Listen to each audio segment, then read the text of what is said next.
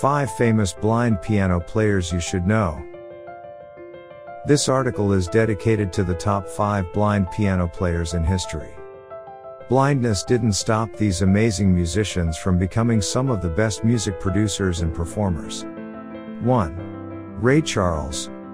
Born in Albany, Georgia, in 1930, Ray Charles is an iconic American pianist. Unlike some of the pianists in this article, Ray Charles was not born blind but lost his sight due to glaucoma at 5. His style of piano playing is a fusion of blues, gospel, R&B, and to a certain extent, country. His piano playing in all of his performances has a compelling rhythmic drive that blends seamlessly with his rich, earthy vocals. With over 50 years in the profession, Ray Charles had numerous hits, including Georgia on My Mind, Hit the Road Jack, and Unchain My Heart. He also appeared in the original Blues Brothers, Octopussy, and Spy Hard. In 2004, the biographical film Ray was a tribute to the great musician. 2. Stevie Wonder. Stevie Wonder considered by many to be a child prodigy, Stevland Hardaway Morris, or Stevie Wonder, is a versatile musician. Unlike Ray Charles, Stevie Wonder was born blind and grew up playing instruments in the local church.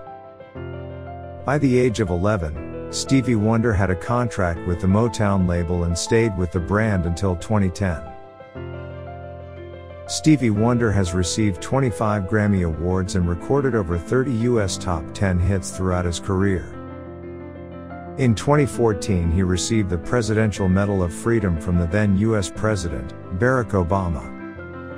His list of successful tracks is too many to list here, but some of the best, in our opinion, include Superstition. Sir Duke, signed, sealed delivered, and you are the sunshine of my life. 3. Art Tatum. Art Tatum is one of the best known jazz pianists of all time. It is believed that Oscar Peterson's father took him to one of Art Tatum's performances. The musical performance was so brilliant that while Peterson was blindfolded, he was convinced two pianists were playing, not one. This technical virtuosity and phenomenal improvisation were Tatum's hallmarks. His performances were captivating, with melodic and harmonic variations that were incredible. From a young age, Tatum learned pieces from the radio and reportedly had an extraordinary memory. 4. George Shearing. Possibly best known in jazz circles for his standard lullaby of Birdland, Shearing was a British pianist who composed over 300 songs.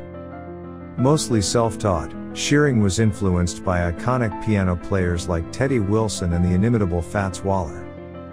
Shearing's career as a pianist spanned the most diverse jazz genres, from swing to bebop to cool jazz and even easy listening. He carved his unique pathway through these stylistic trends, equally able to match the best pianists in all types of jazz. Shearing became known for the quintet formation and created a series of classic albums while with the formation. On a technical note, Shearing was a master of the locked hand style by Milt Buckner. It allowed the melody to be played at an octave, with the left thumb, right little finger, and the chord in the middle. 5. Nobuyuki Tsujii. Nobuyuki Tsujii was born in Tokyo, Japan, in 1998. Blinded due to microphthalmia, Nobuyuki has been playing the piano since he was four and giving performances in public by seven. Nobuyuki has a unique playing style, using both hands and feet on the keyboard to create rhythms and tunes. He often plays the piano with an intensity that conveys his passion for music and has been compared to the great Ray Charles and other classical masters. He is a worldwide sensation famous for his remarkable talent. The 2009 Van Cliburn International Piano Competition led to Tsujii's publicity after he was finalized for the gold medal. From an early age, Tsujii demonstrated outstanding musical abilities and gave his first recital at 12 in Tokyo's Suntory Hall. What makes all this remarkable is that Tsujii learns nearly all his repertoire pieces by ear, occasionally using a braille score. Interestingly, Tsujii says that when he performs with an orchestra, he stays in time with the conductor by listening to the conductor's breath. In conclusion, each of these five pianists has made an indelible mark on the history of jazz and music in general. They span a variety of styles, techniques, and backgrounds, from the humblest beginnings to international stardom. Each displayed incredible talent and dedication to their craft, pushing boundaries and inspiring others.